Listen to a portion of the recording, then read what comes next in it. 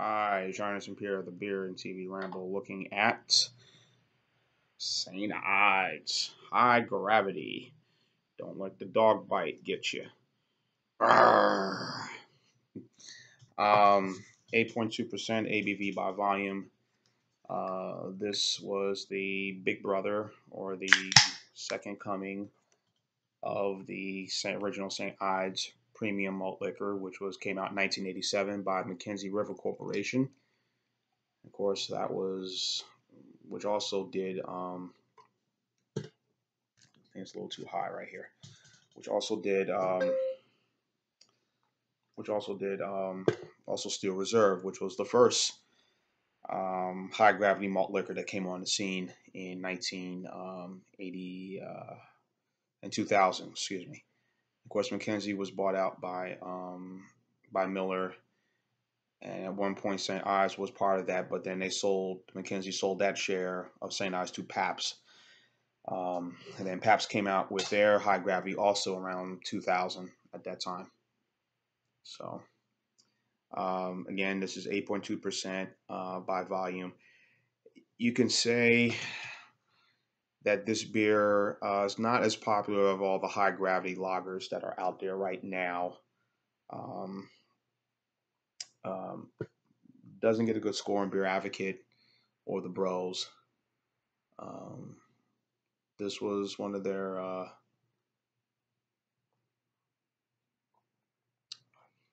it's not one of their or there's not one of the more there's not one of the popular malt liquors that are out there right now. Um, um, you know, I would say Hurricane, which came out, which is in competition of Steel Reserve. Um, and OE High Gravity was another one that came out. Steel Reserve really kind of changed the game in terms of high gravity beers, high gravity malts, malt, or extra strong beers. Um, the um, St. Ides does a lot of fruit flavored beers, but mostly the, the the premium malt, which is between six six point two percent and then a seven point three percent that came out, are probably more popular uh, within the uh, those who who who, who sample it. Um, sorry, forgive me right here, folks. I'm just kind of taking care of some things here on this warm day here in the Northeast. Uh, excuse me, back home. I'm back in Mobile. I should take that back. Um,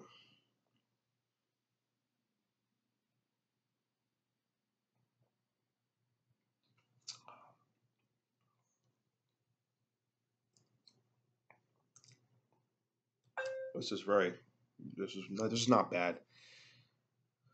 Of all the malts that are out there, um, this is pretty decent. Um,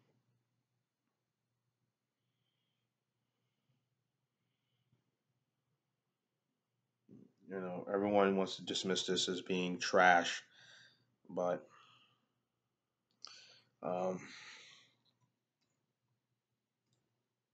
it's not bad. This is pretty pretty refreshing.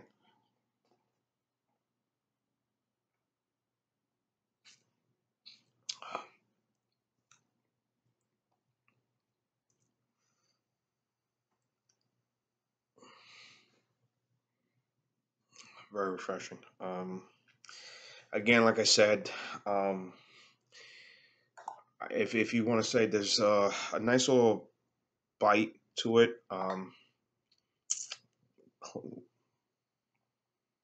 nice little ease to this malt. Nothing that's too overly power- powering. I think it's good. I think the one I really had uh, trouble going guzzling down was the uh, VSL the VSL um, um, uh, by by Schlitz, the Gold Bull, and I really had a trouble guzzling. I thought it was a little too sweet. This one is pretty okay. Um, uh, again, um, but this would be viewed maybe as a Helles Doppelbock. Again, my good friend Ronald J. Terrio, Terrio and um, and, and Maria Devon, the girl next door around around J. Terry does Louisiana beer reviews. Um, they did a discussion, I believe, was New Year's Eve, um, discussing you know these styles of beer, and uh, he was sampling Hurricane, the the eight point one percent version, not the six percent. um, which we don't get the six percent here. We get the eight percent. Um, they were sampling, and he really uh, kind of liked that brew. It was very, you know, um, Helles Doppelbock, very refreshing. Again, maybe harsh to some, but two of these is something that you could probably eat, not not guzzle. Not one of these beers you're gonna guzzle back, you know, a lot and just say, hey, I'm cool, I'm mellow, you know, and you're gonna get up and go, you know, hop in the car and go run to the store and you know buy cigarettes or get some milk for the house. Um, whatever. It's not that type of beer to have. Beer that you're gonna sit and enjoy and sip and sip, relax and calm and you know like a glass, like a fine glass of wine. Yes, I'm comparing this to a fine glass of wine. You know, you because of the high alcohol volume in this. Um, with this, It, it's you could send some fruit skins in it, maybe some apples or whatnot. You could send a little grapes. Uh, very the, the sugar you can really sense the sugar very well. But again, sipping on this it's not too not too overly strong.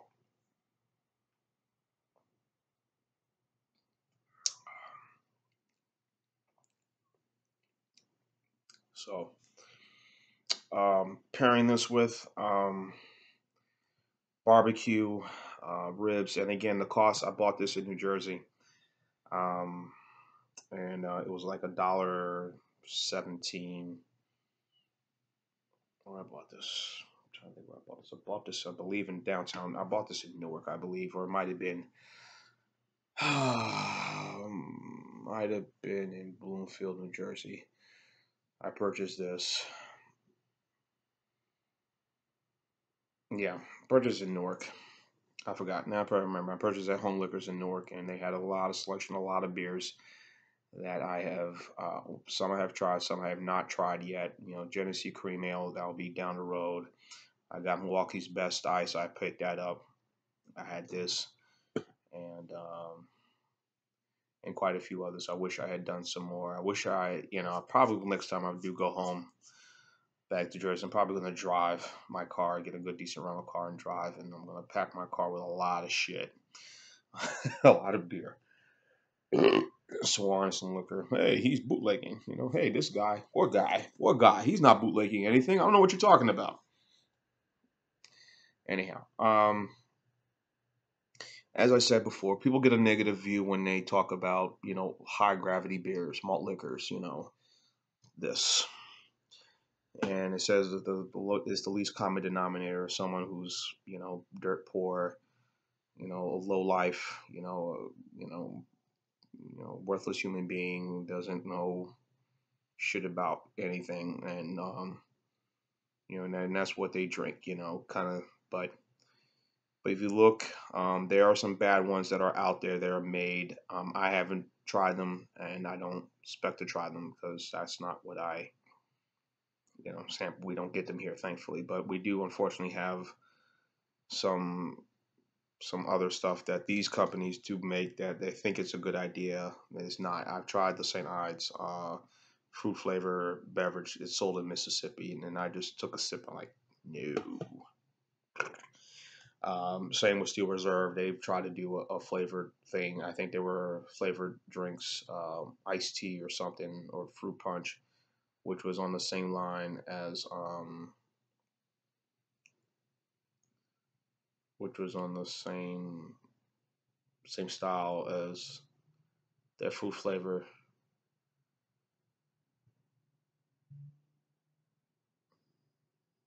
As their fruit flavor drink, and I thought that was uh, trying to compete with Budweiser, and I thought that was just completely just ugh. Anyhow, um, but the breweries like this, you know, since you know it was like I said, um, McKenzie River Corporation owned it, then went into the ownership of what you call it, uh, um, Pabst. And just like with uh, Anheuser Busch, with their three two beers, King Cobra and Hurricane, the six percent and the eight percent, and uh, going back to Pabst with Colt 45 and the Colt 45 Double Blast and the um, High Gravity um, and uh, Miller with OE, high gravity, Ice House Edge, which is a high gravity, and um, OE high gravity or, or Ice House Edge, um, regular OE, Mickey's, Steel Reserve, which is both they do a six percent and eight percent. Um, you know, this isn't something that I, I um, they, they they put out some good stuff. They don't put trash out. That's not their thing. That's not what they do. It's not what they, you know, use good quality ingredients, and the cost is pretty efficient, pretty affordable. And I think within the last couple of years, I've started to have a good appreciation for these styles of beers.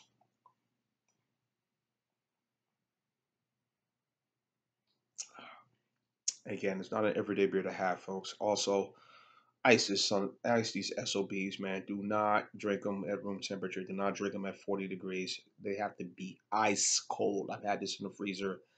I had this in the freezer last night before I went to bed. Um, and um, I had it for about a good hour or so. Took it out, and um,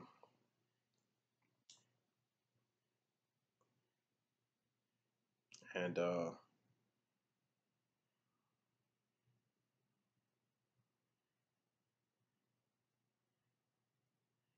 and uh, it was uh, really something. I'm sorry, I'm, so, I'm, watching this football game right now, this bowl game. Um, kind of keeping my attention, but I apologize, everybody. Um, this is um, this is um, you, you can't drink this at at a, at room temperature again. But anyhow, um, 8.2%, I think is quite good. Um, it's not great. Um, I think I still will lean more towards the Hurricane. High gravity. I think they probably quality quality on that beer, particularly from Anheuser Busch, and they do InBev, and their quality control is as by far second to none than anything that that the, the other breweries put out. Um, you know, as is everybody, the the big guys. You know, quality control, quality, cleanliness is is superb. And then again, they do not use garbage stuff to put you know this, these beers together. Um, so um, as much people want to diss the micro lagers, and these beers tend to win the awards. I'm not sure what award this is won at a beer festival or not, or or the Great American Beer Cup, or the uh, World Beer Cup, or the Great American Beer Festival. I'm not sure, but